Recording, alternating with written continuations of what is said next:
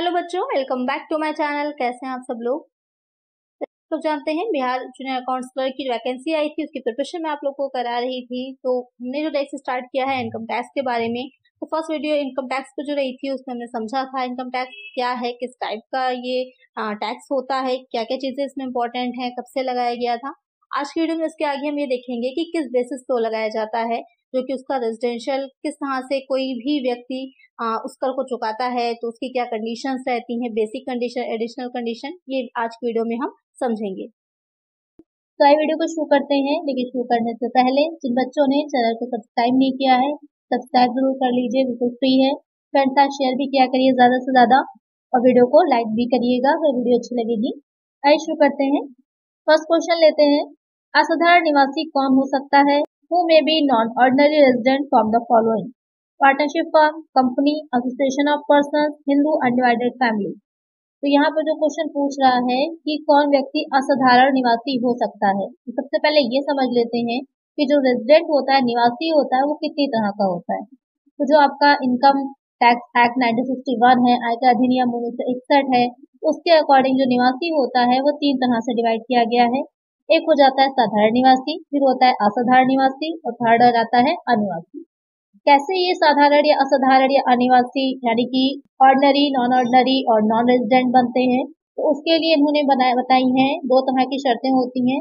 एक हो जाती हैं आपकी आधार शर्तें, यानी कि बेसिक कंडीशंस दूसरी हो जाती हैं जो आपकी अतिरिक्त शर्तें हैं, यानी कि एडिशनल कंडीशन उन्हीं के बेसिस पर ये निकाला जाता है कि वो व्यक्ति किसी कर निर्धारण वर्ष में किसी असेसमेंट ईयर में, ध्यान दीजिएगा, किसी असेसमेंट ईयर में, यानी कि ज़रूरी नहीं है कि अगर इस वर्ष वो निवासी रहा है, एक ऑर्डनरी रेजिडेंट रहा है तो अगले वर्ष में भी वो ऑर्डनरी रेजिडेंट ही होगा। हो सकता है वो नॉन रेजिडेंट हो या नॉन ऑर्डनरी रेजिडेंट हो, कुछ भी हो सकता है।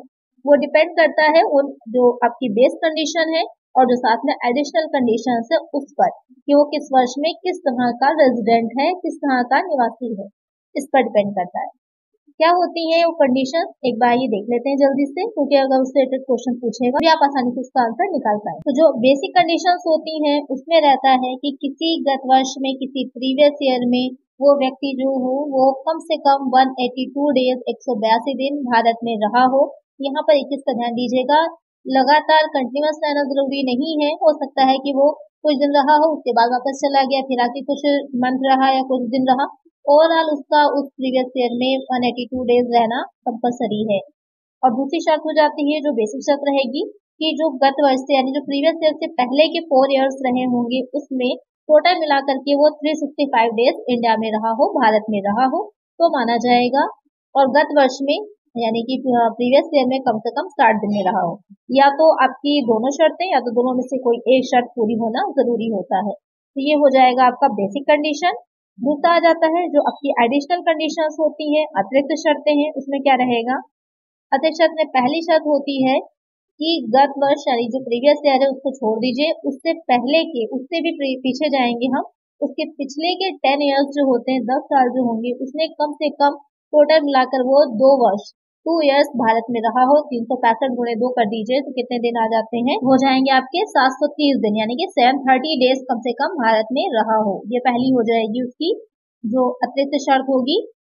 जो अतिरिक्त शर्त है, वो क्या हो जाएगी कि वो गत वर्ष को छोड़कर प्रीवियस को छोड़ दीजिए। उससे पहले के सेवन जो ईयर्स होंगे, सात वर्ष जो होंगे, उसमें कम से कम सात सौ तीस दिन ही भारत में रहा हो। ये दो अतिरिक्त शर्तें हैं। इन्हीं के बेसिस पे डिसाइड किया जाता है कि वो निवासी है, अनिवासी है या फिर असाधारण निवासी है। तो कौन आपका साधारण निवासी, यानी कि जो आपका रेजिडेंट है नॉर्मल रेजिडेंट है, वो होगा, वो हो जाएगा। तो कम से कम गत वर्ष में निवासी तब माना जाएगा कि वो आधार शर्तों में से जो बेसिक कंडीशन है, कम से कम उसमें से कोई एक शर्त को पूरी करता हो और जो दोनों एडिशनल कंडीशंस थी, अतिरिक्त शर्तें थी, उनको भी पूरा करता हो। तब उसे हम साधारण निवासी मानेंगे। दूसरी शर्त जो आपका रहेगा, जो आपका असाधारण निवासी है नॉन ऑर्डनरी रेजिडेंट है तो व्यक्ति कम से कम जो आपकी बेसिक कंडीशन है, आधार शर्तें, उनमें से एक शर्त को पूरी करे और दोनों ही अतिरिक्त शर्तों को वो पूरी नहीं कर रहा होगा एडिशनल कंडीशन को पूरा नहीं कर रहा होगा, तब हम उसे मानेंगे कि वो असाधारण निवासी है नॉन ऑर्डनरी रेजिडेंट है। थर्ड आ जाता है, आपका जो अनिवासी होगा नॉन रेजिडेंट होगा, उसके लिए कि दोनों ही वो आधार शर्तों में से किसी भी शर्त को पूरा नहीं करेगा। एडिशनल की यहाँ वो बात ही नहीं आएगी। मेन वो बेसिक जो कंडीशन है, उसको ही पूरा नहीं कर रहा होगा तो वो अनिवासी हो जाएगा नॉन रेजिडेंट हो जाएगा। तो ये हो जाएगा आपका कि इस बेसिस पर जो आपकी एडिशनल कंडीशन है बेसिक कंडीशन हो गई, और उनके बेसिस पर कब क्या माना जाएगा, आपने समझ लिया। अब इससे रिलेटेड कोई भी क्वेश्चन अगर एग्ज़ाम में आता है तो आप आसानी से सॉल्व कर लेंगे। इसको नोट भी कर लीजिएगा जो आपकी बेसिक कंडीशन और एडिशनल कंडीशन है, साथ ही कब किसको क्या माना जाएगा, कब आधार शर्तें पूरी होने पर क्या मानेंगे, या अतिरिक्त शर्त भी हो रही है। साथ में अगर सिर्फ़ आधार शर्त ही पूरी नहीं हो रही तो वो क्या हो जाएगा? चलिए बात है अपने क्वेश्चन पर। आपका क्वेश्चन जो पूछ रहा था कि असाधारण निवासी कौन हो सकता है तो यहाँ पर एक पार्टनरशिप फर्म कंपनी या फिर जो एसोसिएशन ऑफ़ पर्सन है, तीनों ही असाधारण निवासी नहीं होते हैं। लेकिन जो आपका हिंदू अनडिवाइडेड फैमिली है, जिसे एच भी शॉर्ट में बोलते हैं वो आपका असाधारण निवासी नॉन ऑर्डिनरी रेजिडेंट हो सकता है। तो एक आंसर होगा हमारा ऑप्शन डी नेक्स्ट क्वेश्चन लेते हैं। एक सरकारी कर्मचारी को, जो भारत का नागरिक है, विदेश में सेवा करते समय भारत सरकार द्वारा दिया गया वेतन। Salary payable by the government of India to an Indian citizen for services outside in India is taxable in India is not taxable in India is includable in the total income for great purpose only non of यानी कि कोई government servant है, जैसे कि bank भी हैं तो bank जो है, बहुत से गवर्नमेंट बैंक ऐसे हैं, जिनकी ब्रांचेस इंडिया के बाहर भी हैं। तो वहाँ पर अगर वो काम कर रहे होते हैं तो उनको जो सैलरी दी जाती है, जो उनको इनकम मिल रही होती है, हैं तो वो भारत के ही सिटीजन लेकिन जो अपनी वो सर्विसेज़ दे रहे हैं, वो फॉरेन में दे रहे हैं, विदेश में दे रहे हैं। तो वहाँ पर जो उनका वेतन उनको दिया जा रहा है, वो भारत के लिए कर योग्य होता है टैक्सेबल होता है। तो एक आंसर हो जाएगा हमारा ऑप्शन ए नेक्स्ट क्वेश्चन है। निवास स्थान के आधार पर करदाताओं को किन भागों में बांटा गया है? What are the classes of an assessee on the basis of their resident अभी मैंने आपको ये डिटेल में समझाया था कि कितने उस पर बांटा गया है, कितने प्रकार के होते हैं, कितने टाइप्स के होते हैं। Indians and foreigners resident Indians and non resident Indians resident not ordinary resident and non resident person firms and companies कभी जो मैंने आपको बताया है, कितने तरह से बांटा जाता है, तीन तरह के होते हैं। एक आपका निवासी हो जाएगा रेजिडेंट असथार निवासी नॉट ऑर्डनरी रेजिडेंट फिर हो जाएगा अनिवासी, यानी कि नॉन रेजिडेंट ये तीन टाइप्स के होते हैं तो कई आंसर होगा हमारा ऑप्शन सी नेक्स्ट क्वेश्चन है, भारत में उपार्जित आय कर योग्य होती है? Income accruing in India is assessable for all assessees resident in India not ordinary resident in India non resident in India तो क्वेश्चन में कह रहा है कि जो भारत में उपार्जित, यानी कि एक ऐसी इनकम है जो भारत में ही उपार्जित जो हुई है, वो इंडिया में ही हुई है। जैसे कि कोई बाहर जॉब जॉब कर रहा है, लेकिन बाहर उसको इनकम मिली तो उपार्जित वो इंडिया के बाहर मानी जाएगी, लेकिन बाद में उसने इंडिया में भेजी तो वहाँ पर कंडीशन अलग अलग हो जाती हैं कि किस तरह के बिज़नेस से है, क्या वो उस बिज़नेस का कंट्रोल इंडिया से है। जैसे कि अभी हमने क्वेश्चन देखा था पहले कि वो भारत सरकार की ही कोई उपक्रम में, किसी इंटरप्राइजेस में, किसी बैंक में काम कर रहा था उसको वहाँ इनकम मिल रही थी तो उसको हम मान रहे थे कि यहाँ इंडिया में टैक्सेबल होती है। लेकिन अगर बाहर ही उपार्जित हो रही है, किसी बाहर की ही कंपनी में वो लगा हुआ है, उसके बाद में वो इंडिया में भेज रहा है तो वहाँ पर वो टैक्सेबल नहीं होगी। यहाँ पर जो क्वेश्चन में कह रहा है कि भारत में ही उपार्जित है तो किसके लिए कर योग होगी? उस सभी करदाताओं के लिए ऑल एस के लिए कर योग होगी टैक्सेबल होगी। इसका आंसर हो जाएगा ऑप्शन ए नेक्स्ट क्वेश्चन है निवास स्थान के आधार पर करदाताओं को कितनी श्रेणियों में विभाजित किया गया है और On the basis of residence, the SSCs are divided into how many categories? Two three four five यहाँ पर कितनी कैटेगरीज में इसको विभाजित किया गया है? जल्दी से आप लोग कमेंट करिए अभी मैंने समझाया आप लोग को डिटेल में। आप लोग कमेंट नहीं करते हैं जो भी क्वेश्चन मैं पूछा करूँ उसके आंसर कमेंट किया करिए आप लोग। यहाँ पर बताइए मुझे कि कितने कैटेगरीज में इसको डिवाइड किया गया है। और एक चीज़ और ध्यान रखिएगा, जो नागरिकता होती है, सिटीजनशिप होती है, वो अलग होती है और रेजिडेंशियल स्टेटस जो होता है, वो अलग होता है। ज़रूरी नहीं है कि कोई व्यक्ति जो भारत में नागरिक है, जो भारत में सिटीजन है, उस वर्ष को रेजिडेंट भी माना जाए, निवासी भी माना जाए, ऐसा ज़रूरी नहीं होता। क्योंकि तो सिटीजन होने के लिए आपको भारत का नागरिक होना, भारत की नागरिकता होना आपके पास इम्पोर्टेंट होता है। आप वोट दे सकते हैं, आप भारत के नागरिक कहलाते हैं, लेकिन जो रेजिडेंट होता है, वो ज़रूरी नहीं होता कि भारत का नागरिक हो सिटीजन हो। हो सकता है, कोई विदेशी है फॉरनर है, यहाँ आके रहा और जो एडिशनल कंडीशन थी या बेसिक कंडीशन थी उसने वो पूरी करी, वो फुलफिल करी तो यहाँ पर उसको इंडियन जो भी इनकम बनेगी, उसका टैक्स देना पड़ेगा। लेकिन जो सिटीजन होगा, जो नागरिक होगा, वो यहाँ रह तो रहा है, लेकिन अगर उसकी इनकम पर या रेजिडेंशियल स्टेटस के अकॉर्डिंग वो इंडिया में उतने दिन नहीं रहा कि उसे टैक्स देना पड़े तो उसे टैक्स नहीं देना पड़ेगा, भले ही उसकी नागरिकता भारत की हो। नेक्स्ट क्वेश्चन है पाकिस्तान में कृषि से आय कर योग्य है। Agriculture income in Pakistan is assessable for resident non ordinary resident non resident not taxable तो कोई इनकम जो कृषि आय होती है एग्रीकल्चर इनकम होती है, आपको पता है इंडिया में एग्रीकल्चर इनकम जो होती है टैक्स फ्री होती है। लेकिन अगर अगर पाकिस्तान में कृषि से आय उसे मिल रही है और उस वर्ष वो इंडिया के लिए रेजिडेंट है, निवासी है तो यहाँ पर उसकी आय क्या होगी? सिर्फ़ निवासी के लिए ही कर योग्य होगी। और किसी भी तरह उसको इंडिया में टैक्स नहीं देना है। लेकिन उस वर्ष अगर वो इंडिया में निवासी होता है रेजिडेंट माना जाता है तो उसे अपनी एग्रीकल्चर इनकम जो कि पाकिस्तान में हो रही है, उसका भी टैक्स इंडिया में देना होगा। पाकिस्तान में कोई भी कंट्री हो सकती है इसका एक आंसर हो जाएगा ऑप्शन नेक्स्ट क्वेश्चन है।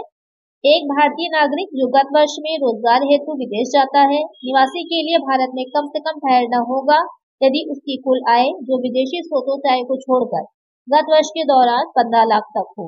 A of India who goes abroad for the purpose of employment he must stay in India to become a resident for at least if this total income other than income from foreign sources up to fifteen lakh during the previous year 182 days 90 days 60 days 180 days. तो यहाँ पर निवासी के लिए सीधे तौर पर पूछा है तो निवासी होने के लिए पहले इम्पोर्टेंट जो है कि वो जो बेस कंडीशन है, जो बेसिक कंडीशन है, आधार शर्तें वो पूरी करता हो। जब वो पूरी करता होगा, तभी उसको निवासी माना जाएगा। उसके बाद हम एडिशनल के बारे में सोचेंगे। पहले हमें बेसिक कंडीशन देखनी है। तो बेसिक कंडीशन के लिए जो कह रहा है कि गत वर्ष में रोज़गार हेतु तो विदेश को गया था किसी फॉरेन कंट्री में गया था। लेकिन भारत में निवासी होने के लिए इनकम उसकी पंद्रह लाख से अब है टैक्सेबल हो रही है इंडिया में, उसको टैक्स देना चाहिए। एग्जामेटेड जो इनकम है, उससे ज़्यादा है। लेकिन कम से कम कितने दिन होना चाहिए? 182 डेज़ रहा हो, कम से कम एक सौ बयासी दिन जब वो भारत में रहेगा, तभी वो बेसिक कंडीशन को पूरा कर पाएगा। एक आंसर क्या होगा हमारा? ऑप्शन ए नेक्स्ट क्वेश्चन है, करदाता की निवासी स्थिति प्रत्येक वर्ष every year the residential status of an assessee में change the certainly change will not change none of this तो यहाँ पर क्वेश्चन में कह रहा है कि निवासी स्थिति जो होती है, जो रेजिडेंशियल स्टेटस होता है, क्या हर वर्ष बदल जाता है? जैसे कि अभी मैंने आप लोग को नागरिकता के बारे में बताया सिटीजनशिप के बारे में बताया। जो सिटीजनशिप होती है नागरिकता चेंज नहीं होती है। आपकी हो सकता है पूरी लाइफ टाइम अगर आप इंडिया में ही रह रहे हो तो इंडियन ही रहेंगे भारत की नागरिकता रहेगी। किसी और कंट्री में जाके रहने लगते हैं तो वही की नागरिकता अगर आप ले लेते हैं, वहीं की सिटीजनशिप ले लेते हैं तो आपको भारत की नागरिकता छोड़नी पड़ेगी। तो यहाँ पर क्या रहेगा कि एक व्यक्ति नॉर्मली अगर हम बात करें नॉर्मल कंडीशन में तो वो लाइफ टाइम अपना वो भारत का ही नागरिक रहेगा इंडिया का ही सिटीजन रहेगा। लेकिन जो करदाता होता है रेजिडेंशियल स्टेटस है, वो हर वर्ष क्या हो सकता है? बदल सकता है चेंज हो सकता है। अगर वो पूरे वर्ष इंडिया में रहा ही नहीं है फॉरेन कंट्री में ही रहा है तो उसे इंडिया में कोई कर नहीं देना पड़ेगा। वो अनिवासी माना जाएगा, उसे कुछ भी नहीं चुकाना पड़ेगा।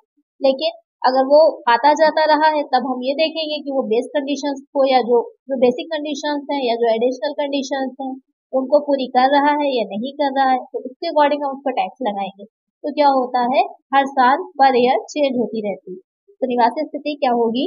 बदल सकती है। करेक्ट आंसर क्या होगा हमारा? Option A may change next question है, एक कंपनी गत वर्ष में नहीं होती a company doesn't become the following in the previous year ordinary resident non resident not ordinary resident resident काफ़ी अच्छा क्वेश्चन है। एक जो कंपनी होती है, किसी भी गत वर्ष में क्या नहीं होती है तो वो असाधारण निवासी नहीं होती नॉट ऑर्डनरी रेजिडेंट नहीं होती। अभी आपको क्वेश्चन मैंने पहले भी थोड़ा सा अलग तरीके से पूछा था, जो पहला क्वेश्चन था आपका कि असाधारण निवासी क्या होता है। तो वहाँ पर आपका कंपनी भी ऑप्शन में थी, लेकिन कंपनी आंसर नहीं था। आपका हिंदू एडवाइडेड फैमिली आंसर था। वही आपका थोड़ा सा घुमा करके क्वेश्चन को पूछा गया है। कि एक कंपनी गत वर्ष में क्या नहीं हो सकती तो असाधारण निवासी नहीं हो सकती। एक आंसर हो जाएगा ऑप्शन सी नेक्स्ट क्वेश्चन है, विदेश में व्यापार से आय जो भारत से नियंत्रित नहीं है कर योग्य है income from business in foreign country not control from India is taxable in case of ordinary resident not ordinary resident non resident all of यहाँ पर क्वेश्चन में कह रहा है कि एक इस तरह के बिज़नेस से हमें किसी फॉरेन कंट्री में, विदेश में इनकम हो रही है इनकम मिल रही है, जो भारत से नियंत्रित नहीं है, यानी कि जिसका मैनेजमेंट भारत से नियंत्रित नहीं है। जैसे कि अभी पहले क्वेश्चन जो मैंने लिया था, जो गवर्नमेंट एम्प्लॉय था, किसी बैंक में काम कर रहा है तो उसका मेन जो हेड ऑफ़िस है, वो तो इंडिया में ही है ना तो इंडिया से कंट्रोल हो रहा है वो। इंडिया में जो रूल्स एंड रेगुलेशन है उन सबको फॉलो कर रहा है। लेकिन अगर इंडिया में है ही नहीं, कोई बाहर का ही कंपनी है, वहीं वो काम कर रहा है। इंडिया से उसको कोई लेना देना नहीं, जैसे एमएनसीज होती हैं जो मल्टी नेशनल कंपनीज़ होती हैं, आप कहीं बाहर जाकर के जॉब कर रहे हो तो वो इंडिया से कंट्रोल नहीं है, वहीं की कंपनी है, किसी और देश से कंट्रोल है। तो वहाँ पर जो इनकम जनरेट उससे हो रही है, मिल रही है, किसके लिए टैक्सेबल होगी, किस तरह के जो करदाता है जो एसएससी है, उसके लिए टैक्सेबल होगी तो वो सिर्फ़ आपकी जो ऑर्डनरी रेजिडेंट होगा, जो साधारण निवासी होगा, उसी के लिए ही टैक्सेबल होगी, बाकी किसी के लिए भी टैक्सेबल नहीं होगी। करेक्ट आंसर हो जाएगा ऑप्शन ए नेक्स्ट क्वेश्चन है, इसमें से कौन सी आय कर मुक्त है state which of following income is exempted from tax agriculture income in Kolkata interest on government securities income from salary capital gain तो क्वेश्चन में कह रहा है कि इसमें से कौन सी इनकम जो है वो एग्जेंटेड होगी टैक्स से? तो यहाँ पर जो कृषि आय होती है जो एग्रीकल्चर इनकम होगी इंडिया में किसी भी तरह की आपकी एग्रीकल्चर इनकम होगी, वो करमुक्त हो जाती है तो एक आंसर होगा हमारा ऑप्शन ए बाकी जो आपकी इंटरनेशनल गवर्नमेंट सिक्योरिटीज है, वो भी और पूंजीगत लाभ या वेतन सहाय तीनों ही क्या होंगी? टैक्सेबल होती है। तो एक आंसर होगा हमारा ऑप्शन ए नेक्स्ट क्वेश्चन है करमुक्त आयों का उल्लेख आयकर अधिनियम की किस धारा में किया गया है? In which section of the income tax act exempted income have been mentioned section ten section eighty C section thirty section two question में कह रहा है? कि जो आयकर अधिनियम इनकम टैक्स एक्ट है, उसकी किस सेक्शन में जो टैक्स फ्री इनकम होती है, उसके बारे में बताया गया है। तो यहाँ पर जो धारा दस दे रखी है सेक्शन टेन है, उसमें दे रखा है कि कौन कौन सी इनकम जो होगी वो टैक्स फ्री होती है या एग्जामेड होती है। एक आंसर हो जाएगा हमारा ऑप्शन ए नेक्स्ट क्वेश्चन है, संसद सदस्य को प्राप्त होने वाला दैनिक भत्ता होता है The daily allowance received by a member of parliament is exempt, taxable, to be included in total income for tax, for tax purpose, none of these.